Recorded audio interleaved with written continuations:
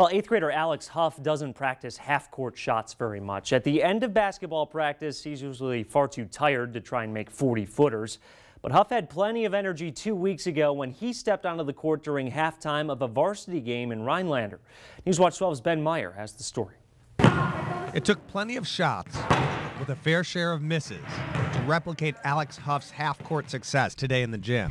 Two weeks ago, I'm really nervous. I'm really shaky. Alex stepped onto the court at halftime of a Rhinelander boys basketball game There's a lot of people watching. after his entry was randomly drawn for a shooting contest. Come on, Alex. After making the free throw and three-pointer with his mom watching, Way to go, Alex! a half-court shot could make him $320. When I first left my hand, I was I really felt good about the shot.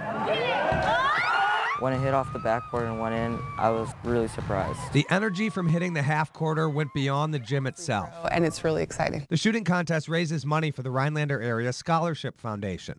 President Jennifer Taggy's organization has given away $300,000 to graduating seniors in the last five years. We do it to make a difference in the kids in Rhinelanders' lives, and so hopefully they'll continue on with their education and maybe come home and make our community better. The foundation shares its money with students every year. This eighth grader shared his winnings with his supporter on the sideline. Since my mom bought me the tickets, I split money with her. And then I just have the 160 to myself. There it is. We're covering the news in Rhinelander. Ben Meyer, Newswatch 12.